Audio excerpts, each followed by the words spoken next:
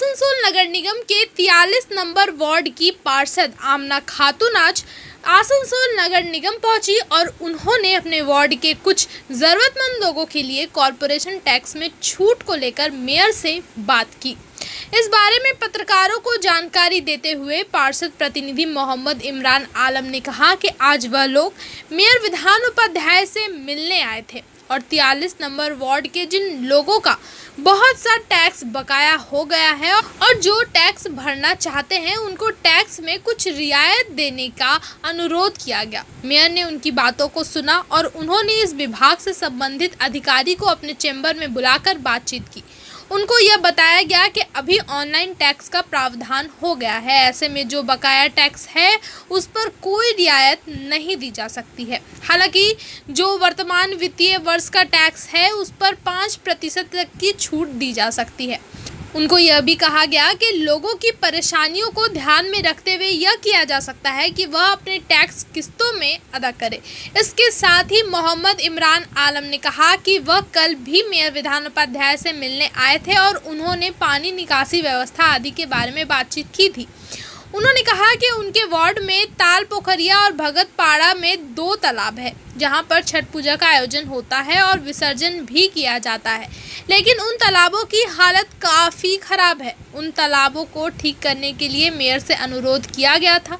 Mayor ने कहा कि यह काम बहुत जल्द कर लिया जाएगा। वहीं पानी की समस्या पर मोहम्मद इमरान आलम ने कहा कि क्योंकि इस साल बहुत ज़्यादा गर्मी हो रही है, ऐसे में जलाशयों में पानी का स्तर बहुत कम हो गया है, जिससे यह परेशानी हो रही है। हालाँकि उन्होंने कहा है कि मेयर ने आश्वासन दिया है कि आसनसोल नगर निगम क्षेत्र में किसी भी नागरिक को पानी की किल्लत नहीं होने दी जाएगी। पोखरिया तालाब और भगतपाड़ा तालाब यहाँ पे छठ पूजा होता है और विसर्जन होता है तालाब। में उन्हीं को लेकर मेयर साहब से कल बात करने आए थे।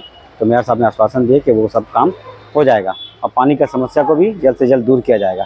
क्योंकि अभी जिस तरह से गर्मी गिरा है नदी का जलस्तर एकदम कम हो गया है, पानी का समस्या तो पूरे इलाके में है, सिर्फ़ हमारा ही वार्ड नहीं, पूरे इलाका में है। और कम बेश सभी जगह पानी मिल रहा है, ये मेयर साहब का भी कहना है। और हम लोग भी देख रहे हैं इस समस्या से, हम लोग मतलब ये वाकिफ़ हैं। उसके अलावा मेयर साहब बोले कि हाँ पानी की समस्या को दूर कर लिया जाएगा, सफ़ाई की समस्या को भी हल कर दिया जाएगा। और आज टैक्स को लेकर जब बात किए हैं तो देवराज सर भी थे मेयर साहब आज खासकर बुलाए थे इसलिए। तो उनका कहना है कि अभी ऑनलाइन सिस्टम हो गया है तो पहले का जो बकाया है वो वेस्ट बंगाल पोर्टल के हिसाब से हम लोग उसमें रिबेट नहीं दे पा रहे हैं लेकिन जो करंट है चौबीस पच्चीस का उसमें हम लोग पाँच परसेंट रिबेट दे पाएँगे। फिर भी उनका कहना है कि इलाका में जो असुविधा है लोगों को टैक्स भरने में आसानी हो इसके लिए हम लोग एक ये, कर सकते हैं सुविधा कर सकते हैं कि टैक्स भरने के लिए हम लोग इंस्टॉलमेंट कर देंगे जिसके लिए लोगों को भरने में सुविधा हो इस मेरा नाम Mohammad Imran Alam councillor representative ward number forty three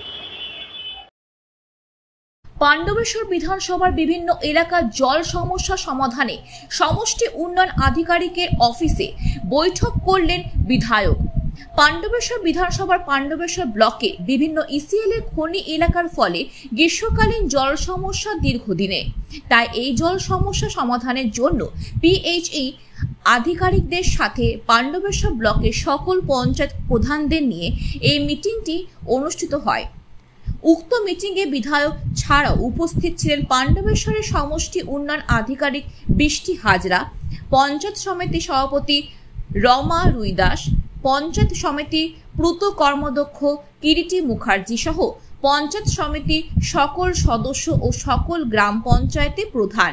এই প্রসঙ্গে ভিডিও বৃষ্টি হাজরা বলেন, গ্রীষ্মকালে পাণ্ডবেশ্বর প্রত্যেকটি এলাকায় জলের ট্যাঙ্কারে করে মানুষের বাড়ি বাড়ি জল পৌঁছে দেওয়া হয়েছে এবং আগামী দিনে প্রায় প্রত্যেকটা মানুষের বাড়ি বাড়ি কল পৌঁছে গেছে এবং জল পড়তে শুরু হবে। ইসিএল এর খনি সম্প্রসারণের ফলে জলস্তর অনেকটাই নিচে নেমে যায়। তাই কিছুটা জল সমস্যা তৈরি হলেও আমাদের প্রশাসন মোকাবেলা করতে তৎপর হবে। পিএইচই ডিপার্টমেন্টের সাথে আপনাদের একটা বৈঠক হলো বিধায়ক উপস্থিত ছিলেন। কি আলোচনা হলো? আহ, আজকে আমরা জল জীবন মিশন নিয়ে ব্লকে একটা মিটিং করলাম যেখানে আমাদের রেসপেক্টেড এমএলএ স্যার এসেছিলেন। আমাদের আমরা জানি আমরা একটা খনি অঞ্চলে বাস করি এখানে প্রচুর জলের সমস্যা হয়। কিন্তু পিএইচই ডিপার্টমেন্টের হেল্প থেকেও আমরা অনেক ট্যাঙ্কার এবার পৌঁছে দিতে পেরেছি স্পেশালি ইলেকশনের সময় যেটা একটা সেন্সিটিভ সময় ওই টাইমে প্রচুর গরম পড়েছিল। তো ওইটা নিয়ে কোনো প্রবলেম আমাদের এখানে দেখা যায়নি। আগেও আমাদের গরম আসছে, পড়ে আছে। তো আমরা রেডি আছি মানে ট্যাঙ্কার যাবে লোকজনকে জল দেবে। এইটা তো একটা টেম্পোরারি সলিউশন আমরা সবাই জানি। যেটা পার্মানেন্ট সলিউশন যেটা আমরা সবাই চাই কি ঘরে ঘরে কানেকশন হয়ে যায়। তো এই যে ঘরে ঘরে কানেকশন হয়ে যায়, এইটার জন্যই আজকে মিটিংটা কি আমরা একটা টাইম লাইন নিলাম, আমরা একটা প্ল্যানিং করলাম কি কবে নাগাদ এগুলো হবে পিএইচ এর সাথে প্ল্যানিং করলাম। প্লাস অন্যান্য যা যা ইস্যু আছে, আমাদের রোড ইস্যুস আছে, আমাদের এই ট্যাপ কানেকশন ইস্যুস আছে। বিভিন্ন আমাদের লোকাল পাবলিকের বিভিন্ন অভিযোগ আছে, সেগুলো নিয়ে আমি আমরা আজকে মিটিং করলাম। কিছু সলিউশন আমরা পেলাম। সেই সলিউশন গুলোকে এবার আমাদের দায়িত্ব আমাদের অ্যাডমিনিস্ট্রেশন হিসেবে আমরা ওটাকে এক্সিকিউট করব।